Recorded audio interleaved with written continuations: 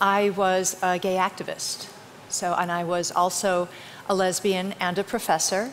And the reason that I was a gay activist was not because I was angry or upset or, um, uh, you know, had an axe to grind, but I genuinely believed that the world would be a better place um, with a, a politics of inclusion and acceptance, and, uh, and I felt that sexual diversity was a key part of, of what, what real diversity meant.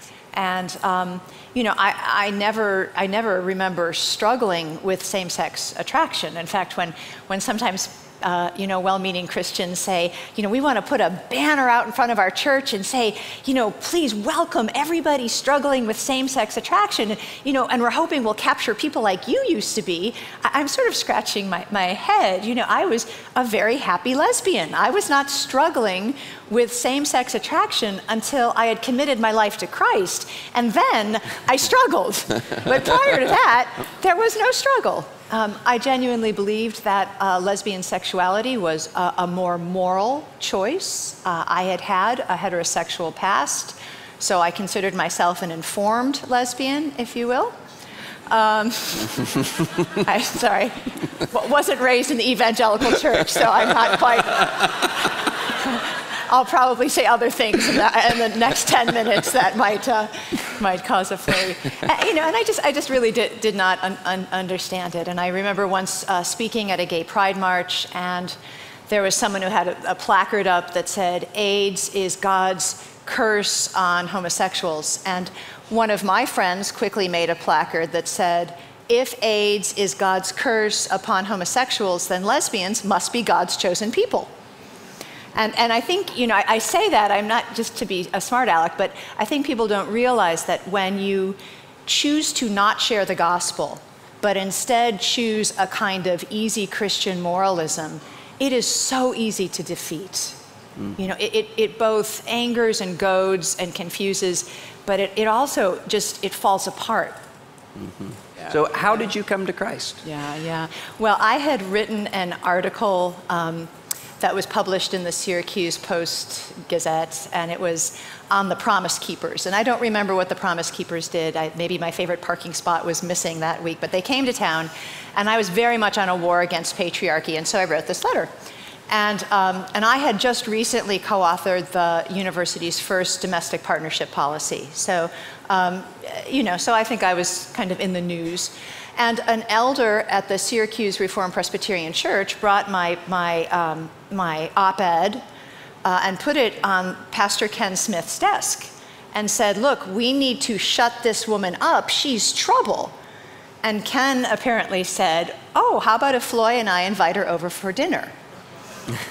um, and I was at the time writing a book on the religious right from a lesbian feminist point of view. And so when, when Ken wrote me a letter and when we subsequently talked on the phone, um, I quite frankly thought, yeah, I'd love to go to dinner at your house. This is like a free research assistant for my book because I was a real scholar and I realized that, uh, you know, I didn't, I couldn't wade through this book without help. And so that really began a very fruitful um, conversation that, that turned into a real friendship. So at my first dinner at Ken's house, he omitted two very important steps in the rule book of how Christians deal with a heathen like me. You know, take notes, right? Number one, he uh, did not share the gospel with me.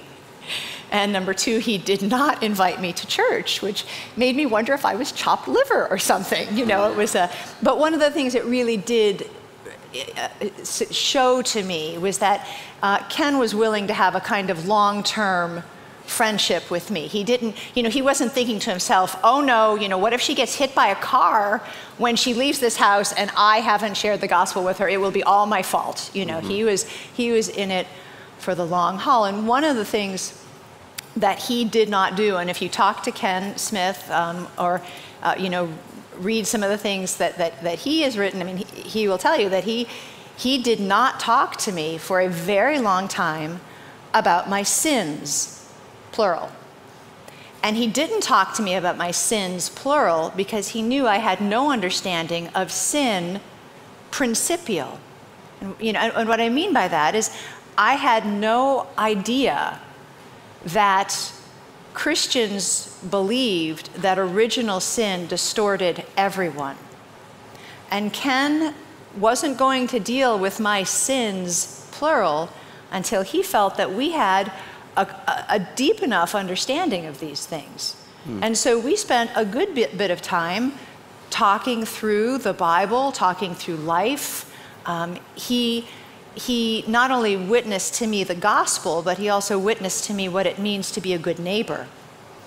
And um, I think when someone asked Ken recently, you know, you know, when did you talk to Rosaria about, you know, the big issues there? You know, Ken never presumed that my being a lesbian was my biggest sin. Um, hmm. he, he knew it wasn't, in fact. He knew that unbelief was. Hmm. And, so, I, you know, his house was a really interesting house to me. Um, the, the gay and lesbian community is a community quite given to hospitality. And I tell people that I use the hospitality gifts that I use today as a pastor's wife in my queer community because that's where I learned that. But I noticed Ken's house was a lot like my house. People would come in and out, and the Bibles would be open. And, you know, this wasn't like a museum piece. You know, it'd be open, somebody would spill coffee, that's okay. Um, but I was especially struck with Jesus' invitation that his yoke is easy and his burden is light my yoke was hard and harsh, and it was just increasingly so.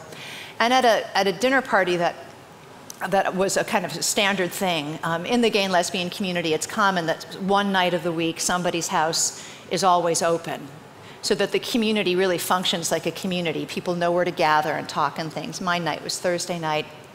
And at this gathering, my, my transgendered friend cornered me and said, You know, you're changing and this Bible reading is changing you. Hmm. And, and, um, and I said, I said, you know, what if, what if I said, I think we're all in trouble? You know, what if, what if, I, what if I said, I'm, I'm starting to believe that Jesus is real and risen and we're all in trouble? And in 1999, when I did come to Christ, I did not come to Christ because, because I thought it was a good deal. Hmm. Okay, I didn't come to Christ because I thought that, you know, like weighing a car insurance policy, I was hedging my bets. And I didn't come to Christ because I had stopped loving my girlfriend or stopped loving being a lesbian. I came to Christ because of who Christ is. Hmm. And, and I came to Christ because I was, I was convicted that although I had felt sincerely that I was on the side of peace and justice and compassion, that it was indeed Jesus I had been persecuting the whole time.